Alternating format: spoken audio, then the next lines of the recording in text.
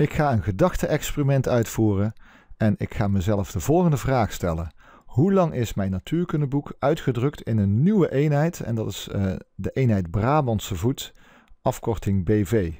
Dit is mijn natuurkundeboek en hieronder zie je een meetlat waarop de Brabantse voet is uitgezet. Dus ik ga dadelijk de meting verrichten en het natuurkundeboek langs de meetlat leggen en ik ga kijken hoeveel Brabantse voet mijn boek is. Maar ik moet daarbij wel met één belangrijk iets rekening houden. En dat is dat ongeacht welk meetinstrument ik ook pak, ik altijd te maken heb met een bepaalde nauwkeurigheid waarbij het meetinstrument een meting kan doen. En laten we nou eens zeggen dat dit meetinstrument vrij onnauwkeurig is.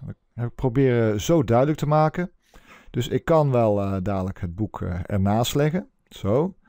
Maar ik kan hem niet heel nauwkeurig meten. Het is eigenlijk onmogelijk om af te meten hoe groot het boek is uitgedrukt in tiende Brabantse voeten. Dus ik moet hier wel gaan afronden naar gehele Brabantse voeten.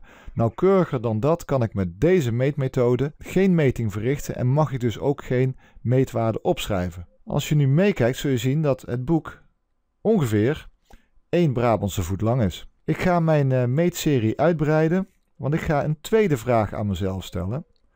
Hoe lang zijn nu twee identieke natuurkundeboeken samen, als ik die achter elkaar stapel. Kan ik hier natuurlijk ook doen. Hier is het tweede natuurkundeboek. En nu, ook nu zal ik moeten schatten bij welke waarde twee natuurkundeboeken het dichtst bij liggen.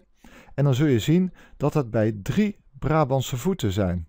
Dus twee natuurkundeboeken samen zijn drie Brabantse voeten lang. En dan heb je een hele aparte conclusie, namelijk dat we twee voorwerpen hadden die allebei een lengte hadden van 1, maar opgeteld hebben ze een lengte van 3. Hoe kan dat? Dat heeft alles te maken met het feit dat er een heel groot verschil is tussen de wiskunde en de natuurwetenschappen. En dat is dat bijna alle getallen bij de natuurwetenschappen meetwaardes zijn en allemaal hebben die inherent een bepaalde onnauwkeurigheid in zich. En dat heb je bij de wiskundige getallen niet. Dus in de wiskunde geldt dat 1 plus 1 altijd 2 is. Maar hier zie je dat afhankelijk van gekozen meetinstrument en de nauwkeurigheid waarmee je een meting kunt uitvoeren, dat het best mogelijk is dat 1 plus 1 3 is. Even nog een laatste gedachte-experiment. Ik heb namelijk ook nog een andere meetlat.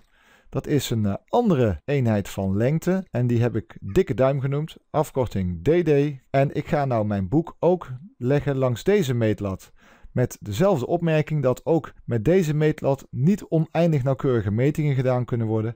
En als ik nu kijk naar deze meetlat, dan uh, zie ik dat één boek een lengte heeft van één dikke duim. Wanneer ik nu mijn tweede boek erachter zet, kan ik ook meten hoe groot twee boeken samen zijn. En je ziet dat bij deze gekozen eenheid en bij deze nauwkeurigheid van metingen, dat geldt dat twee boeken samen ook één dikke duim lang zijn. Dus hier geldt 1 plus 1 is 1.